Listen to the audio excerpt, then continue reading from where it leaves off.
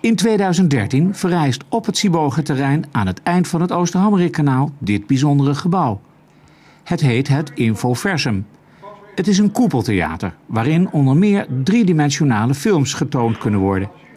Er komen 265 zitplaatsen en de initiatiefnemers verwachten tussen de 200 en de 270.000 bezoekers per jaar. Het Groningen Museum trekt zo'n 230.000 bezoekers per jaar. De bedoeling is dat wetenschap, entertainment en bedrijfsleven met elkaar gecombineerd worden. Er komen ook exposities, demonstraties, voorstellingen en concerten. Het is een initiatief van de RUG, de gemeente Groningen, Gasterra en de Rabobank. Nou, het Infoversum is een fantastische mogelijkheid om hele mooie dingen te laten zien over kunst en wetenschap.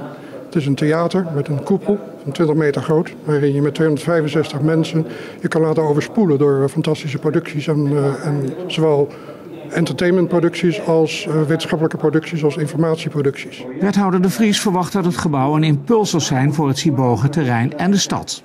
Prachtig gebouw, een hele mooie, ja, wat is het? Een soort koepel, een soort doom.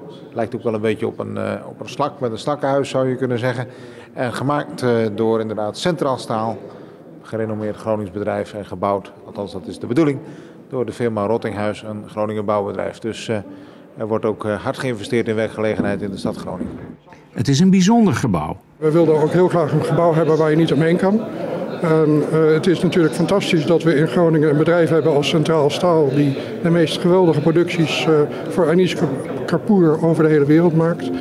Dit is geen Anies Kapoor gebouw, maar het is wel een gebouw met van Cortenstaal, van Centraal Staal, wat een unieke kunstwerk is. De stad vaart er wel bij, Emmingen kwartier vaart er wel bij, publiek vaart er straks wel bij, dus uh, echt een icoon voor de stad. Het gebouw moet volgende zomer al klaar zijn en kost tegen de 11 miljoen euro.